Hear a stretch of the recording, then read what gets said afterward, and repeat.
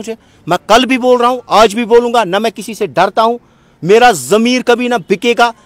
मैं टिकने वाला हूँ न मैं बिकने वाला हूँ। मैं हमेशा अपनी आवाम के लिए आवाम की नुमा एक मटर पे स्टोरी करूँगा ना मटर पे वो मेरी टीआरपी मुझे ज़रूरत नहीं है। मैं टीआरपी के लिए क्या देंगे मतलब ये तो मैं कहूँगा उनके लिए इंसल्ट में कहा मैं गबर हूँ। हाँ मैं, मैं किसी से गबर हुआ। हाँ मैं डरता नहीं हूँ किसी से। न मैं झुकता हूँ किसी के सामने। न मैं अल्लाह अब्दुल्ला की गवर्नमेंट नहीं है। फारूक अब्दुल्ला को क्यों इसमें हाँ मैं लाऊँगा उन्होंने इस इस इस इस मुकाम पे हमको फारूक अब्दुल्ला ने लाया। हम्म। मैं चिल्ला के मैं घंटा घर पे बोलूँगा फारूक अब्दुल्ला ने लाया महबूबा मुफ्ती ने लाया। इस चौराहे पे इस कश्मीरी कौम को इन्होंने हमारी खून के साथ लुखिन मोजी पत्रदाग पे ये। क्या वना लुखिन मोजी पत्रदाग पे ये। सोचनीमो पत्रदाग साइंस कश्मीरस। उन पे ये ये इस टाइम 59 करोड़ का जो स्कैम हुआ है उसमें अब चर्चा सिर्फ़ मुदसर अज़ीज़ और इदरीस मीर की हो रही है।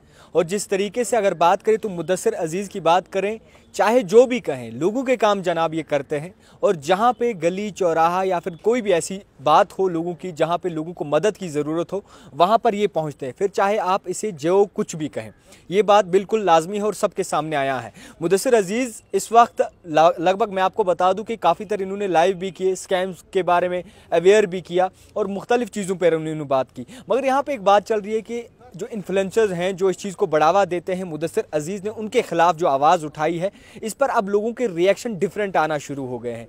यानी कि अब लोग जो हैं, कहीं ना कहीं इस बार बाकायदा तौर पर गौर फ़िक्र कर रहे हैं। मुदसर साहब, आप कल एक बार फिर से लाइव आए। आपने कल वहाँ उस ऑफ़िस भी गए आपने बोर्ड भी देखा, आपने लोगों को अवेयर भी किया, आपने बहुत सारे लोगों का नाम लिया जिन्होंने इन्हें प्रमोट किया है।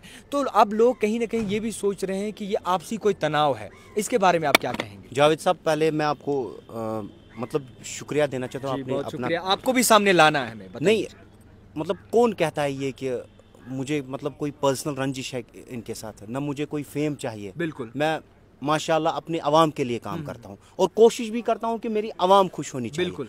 मैं अल्लाह को हाजिर नाजिर जानकर कोशिश करता हूँ ये खून मेरा मेरी आवाम के लिए लगे। मुझे पता है कि मेरी आवाम कितनी सीधी सादी है कश्मीरी आवाम जो पिछले कहीं दशक से इस सफ़र में है। आपने कल देखा होगा एक बेचारा गूँगा था उसके पाँच लाख रुपए चले गए उसने मेरे को मैं कैटेगोरिक मैं नहीं डरता हूँ। इधर मीर का वीडियो मेरे को दिखाया। हम्म। आपको नहीं लगता है? देखो मैं अभी इस टाइम एक पब्लिक फिगर हूँ। हम्म। मेरा बात करना किसी पे इम्पैक्ट पड़ेगा। बिल्कुल। मेरी लो मेरा वीडियो लोग देखते हैं। हम्म। अगर मैं कोई बात अभी करूँगा लोग एक कॉन्फिडेंस से कहते हैं नहीं मुदसर अज़ीज़ ने ये न्यूज़ चला ये जेन्युन होगी। हम्म। या इसने ये कोई कंटेंट बनाया ये जेन्युन होगा। हम्म। वो लोग भरोसा करते हैं। मैं और भी इधर कहना चाहता हूँ इधरीस मीर ने अगर लोगों को इसमें ये प्रमोट किया ये वेबसाइट प्रमोट की और कल वही प्रेस कॉन्फ्रेंस दे रहे शर्म की बात है मुझे। मैं कल भी बोल रहा हूँ आज भी बोलूँगा ना मैं किसी से डरता हूँ मेरा जमीर कभी ना बिकेगा। मैं टिकने वाला हूँ ना मैं बिकने वाला हूँ। मैं हमेशा अपनी आवाम के लिए आवाम की नुमाइंदगी करूँगा कोशिश माशाल्लाह बहुत अच्छा काम करते हैं। मगर जब ये बात सामने आई और जब उन पर सवाल किया गया कहते हैं जनाब डिग्री का जनाब मुख्तलिफ़ चीज़ों का आपको लगता है कि लोगों की हिमायत करने के लिए डिग्री की ज़रूरत होती है? वो तो मेरे मेरी आवाम आपको बताएगी। हम्म। वो तो जावेद साहब आप देख रहे होंगे मेरा काम करके मेरे को लोग सराहना करते हैं। बिल्कुल अब हम ये कहेंगे मेरे हजूर पाक सल्लल्लाहु अलैहि वसल्लम के पीछे भी कोई गैबत करने वाले थे। मैं ये कॉन्फिडेंस से नहीं कहूँगा कि मेरे साथ हंड्रेड परसेंट कोई होगा मेरे खिलाफ भी कुछ होंगे। हम्म। जिनके खिलाफ मैं स्टोरी करूँगा वो मेरे साथ रहेंगे। हम्म। वो तो मेरे खिलाफ बोलेंगे। मगर मैं ये कहता हूँ मेरे साथ पूरी कश्मीर की 99 परसेंट आवाम है। मैं ये कॉन्फिडेंस आपने कल कहा कि मुझे इदरीस मीर के बाद एक और फ़ोन आया। हाँ जिसपे आप मैडम का फ़ोन आया। क्या आ, उस पर क्या मैं रिलेशन वो मेरा रिलेटिव है कुछ। आप वीडियो करो रिमूव वो करूँगी। मैंने कहा जो करो क्या है? हम्म। आजकल के दौर में ये मोदी गवर्नमेंट है फारूक अब्दुल्ला की गवर्नमेंट नहीं है। फारूक अब्दुल्ला को क्यों इसमें हाँ मैं लाऊँगा उन्होंने इस इस इस इस मुकाम पे हमको फारूक अब्दुल्ला ने लाया। हम्म। मैं चिल्ला के मैं घंटा घर पे बोलूँगा फारूक अब्दुल्ला ने लाया महबूबा मुफ्ती ने लाया इस चौराहे पे इस कश्मीरी कौम को इन्होंने हमारी खून के साथ खेला। फारूक अब्दुल्ला ने? हाँ मैं खुल के चैलेंज करता हूँ हम्म। इन्होंने हमारे जमीरों के साथ खेला। फारूक अब्दुल्ला ने महबूबा जो पिछले पॉलिटिशियन थे मैं इस टाइम भी बोलूँगा कल भी बोलता रहूँगा मोदी ने अपने लोगों के साथ वफा किया। कहते हैं कोई मुझे कहते हैं कहते हैं इनको पिट है बीजेपी की। कुछ लोग ऐसे भी हैं। बीजेपी इनको देखो देखो बीजेपी का हाथ है पीछे मुदसर साहब के इसलिए किसी अगर, से नहीं डरते। अगर मेरे को बीजेपी का हाथ भी होगा हम्म। मगर मैं अच्छे काम के लिए हाथ रखूँगा। हम्म। न कि मैं बुरे काम के लिए अपने घर भरने के लिए। बड़ी बात है। आप चैलेंज से मैं कहता हूँ कोई एक बंदा लाओ वो कहेगा मुदस्सिर साहब ने मेरे से पैसे लिए। बिल्कुल। एक चैलेंज करता हूँ मैं मैं किसी से पैसे नहीं लेता हूँ मैं आवाम के लिए काम करता हूँ। मेरे मेरे को बताओ ये जो एडमिनिस्ट्रेशन इस टाइम है यहाँ पर किन की एडमिनिस्ट्रेशन है? एडमिनिस्ट्रेशन यूटी गवर्नमेंट है। किन की है? बीजेपी की। मेरे को तो सपोर्ट चाहिए। अगर मेरे को कभी आवाम की ज़रूरत पड़ती है ज़रूरी बीजेपी आना पड़ता है मेरे को। मैं आता रहूँगा। इसमें क्या है? कल किसी और की हुकूमत होगी तब मैं उनके साथ बिल्कुल आप खुल के बात करते हैं। ये इनमें मैंने एक अच्छी चीज़ दिखी कि जो भी ये जनाब कहते हैं ये खुल के बात करते हैं। फिर चाहे आप कुछ भी कह लो। मुदस्सिर साहब आपने कल एक वीडियो में कहा मैं गबर हूँ। हाँ मैं, मैं किसी। से गबर हुआ। हाँ मैं डरता नहीं हूँ किसी से। न मैं झुकता हूँ किसी के सामने। न मैं अल्लाह ताला के सिवा झुकूँगा किसी से। हाँ मैं ये कहूँगा मैं कभी एंटी नेशनल नहीं हूँ। मैं एंटी नेशनल कभी नहीं हूँ। मैं आवाम के फ़ायदे के लिए हूँ। अच्छा कल एक और बात सामने आई। जब इन्फ्लुएंसर से जिन्होंने इस चीज़ को प्रमोट किया उनसे जब बात हुई तो वो कहते हैं टीआरपी खाते हैं।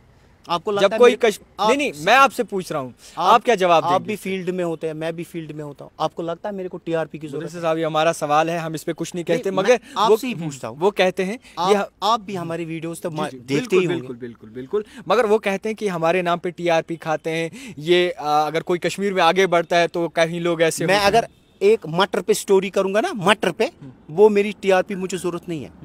मैं टीआरपी के लिए क्या देंगे करता हूँ।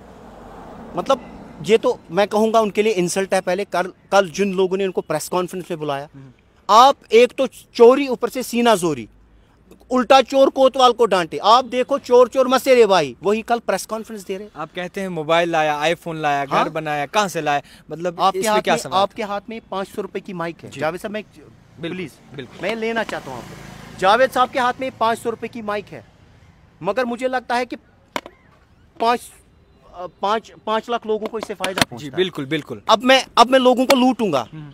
मैं बड़े बड़े गिम्बल्स लाऊँगा। मैं लाऊँगा ड्रोन लाऊँगा। मैं गाड़ी लाऊँगा। मैं बंगला बनाऊँगा। उससे अच्छा है ना मैं पाँच सौ रुपए की माइक उठा के लोगों के फ़ायदा फ़ायदे के लिए काम करूँगा।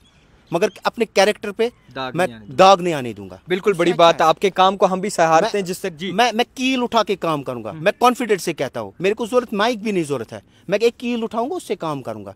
हाँ मैं इधर ये कहूँगा मैं अपने आवाम का आवाम के ज़मीर के साथ नहीं खेलूँगा ना अपनी आवाम कौम के साथ जो मेरे पे ट्रस्ट करते हैं मैं उनके खून के साथ नहीं खेलूँगा। बस। जवाब क्या देंगे आखिर में उन लोगों को जो इस वक्त ये सुन रहे हैं वीडियो?